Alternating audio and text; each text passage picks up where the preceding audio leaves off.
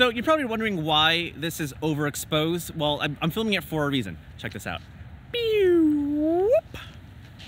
That is a variable ND filter, and it was made by Peter McKinnon and Polar Pro.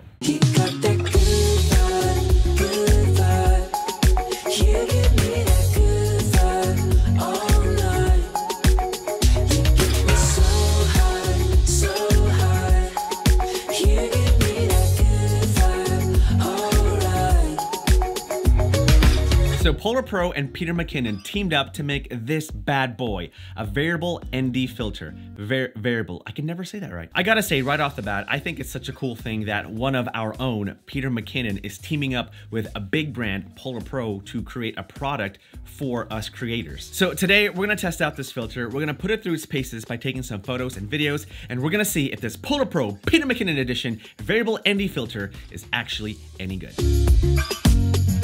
Okay, well, before we actually begin, I gotta I gotta point out that the packaging for the variable ND filter is so gorgeous. It just feels premium, like right off the bat. And on the back here is a picture of the product and uh, uh, Mr. Peter McKinnon himself. It just feels so good. I mean, it, it just feels right. I, I, feel right. The filter does come in various sizes. The one that I got is the 82 millimeter because the lens that I'm using is the Sony 24 to 70 G Master lens. That has a big filter thread. And as it says on the box, the variable ND filter can cut down your exposure by two to five stops. So pretty cool. All right, let's take this out. It's so premium that I don't feel like I deserve opening this. It's so pretty. All right, let's open up the tab and boom, ka-chow. Look at that. That's one of Peter's photos. And here is the ND filter uh, case. And uh, it's just, it just, it's like, I don't, I don't know if it's bulletproof. I'm pretty sure it's not bulletproof. Don't quote me that. I've never seen such a premium case for an ND filter before. I mean, it's really elegant and pretty. And there's Peter's signature over there. And inside is, of course, the ND filter. I felt like I just proposed to you. Also included is the ND filter cap, which is which is essentially a mini Polar Pro Defender. And essentially what you do is that you put your ND filter on your lens, and to protect your ND filter, you put the cap on and just snap it just like that. And that way your variable ND filter is protected wherever you go. This actually solves a huge problem that I've had for years when trying to protect my variable ND filter, because oftentimes variable ND filters have a bigger circumference than the lens itself. And so you can't really put a lens cap on the filter because it just it just won't fit. And so having this rugged cap placed over the ND filter just solves that problem for me and I much, much, much appreciate. And it's rugged. I really like that. Taking a look at the filter itself, there are numbers on the edge. Here, let me go closer. Boom. There are numbers on the edge to help you determine how many stops of light that you want to cut down, going from two to five. And there's a little marker to help guide you to the specific number that you want to be on. So if you want to stop down your exposure by two, you just line up to two with a marker, go to three, four, and a five. And once you reach five, it doesn't go any further, which is actually a really good thing. Just zoom out. Oh, there we go. Oftentimes, variable ND filters have this infinite rotation where if you crank it up too much, you will see this X pattern on the corners. That just happens when the two glass inside the variable ND filter kind of cross paths, forming some X formation. But with this filter, this doesn't allow that infinite rotation. It just stops you at five, preventing that X pattern appearing in your footage. Personally, I thought that was a very smart design choice because I, I hate seeing that X pattern in my footage. And so just to stop it at the maximum level is just, is really clever. And there are just small details like ridges along the variable ND filter to help grip the filter as you're taking it off your lens. And so far, I'm liking it. All right, boys and girls, enough of the specs. Let's take this thing out and see what this filter can do. Okay, so this is totally overexposed for a reason. It's because this is what it looks like without the ND filter, and we're gonna put the filter on, and we're gonna go through each stop, starting with two, working our way up to three, four, and to finally five. Okay, so that's what it looks like without the filter. Now we're gonna put this bad boy on. There we go. Okay, so now that we have that on, I'm just gonna zoom in. There we go.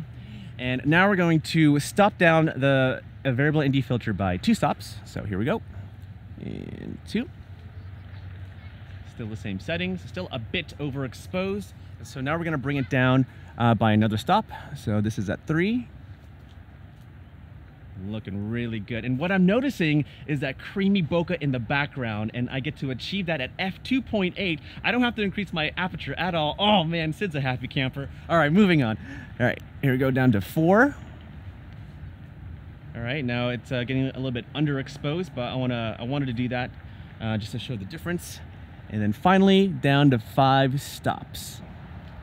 Three seems to be a really good setting uh, for this whole setup. And mind you, it's, it's cloudy outside, not too bright, but it looks it looks good. And I love I love the bokeh in the background. Mm, good stuff. The next test that I want to do is I want to test out uh, the difference between keeping the same aperture at f2.8 with the ND filter versus trying to keep the same exposure but by increasing the f-stop. And so you'll probably see a difference between the, uh, the bokeh in the background and so uh, I just wanted to show that, do a comparison, and so let's see what it looks like.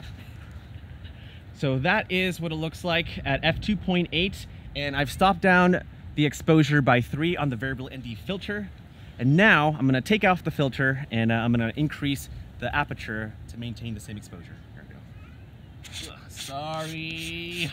All right, so obviously overexposed. So now I'm going to increase the aperture to get that same exposure. All right, so now we are exposed, but now I'm at F9. And so you can see the background is a little bit sharper and there's not much separation between the subject and the background. And so uh, it, it, looks okay, but obviously if you film with f2.8, you get that nice cinematic uh, look with that nice bokeh in the background. So we're gonna put the filter back on. Sorry.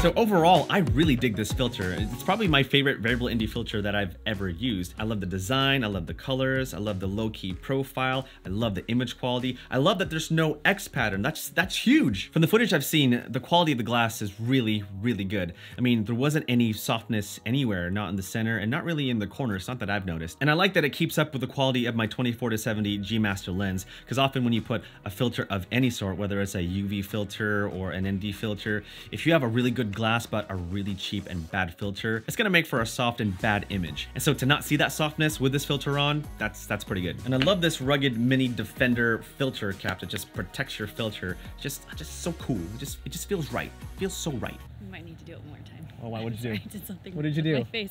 I was like, and then I was looking at the stuff falling in your hair from the tree above. Okay, I'm sorry. I know that takes a lot. Ready and. All right, guys, well, there you go. That is the variable ND filter made by Peter McKinnon and Polar Pro. Thank you so much, Randi, for helping me out, model for me, and thank you so much for watching this video. If you're interested in checking out this filter, then make sure to check out the link in the description below. Also, follow Randi. She does some awesome wedding photography in the Dallas area. Well, actually, worldwide. You travel, right? Worldwide. Worldwide. So anyway, thanks, guys. See you later.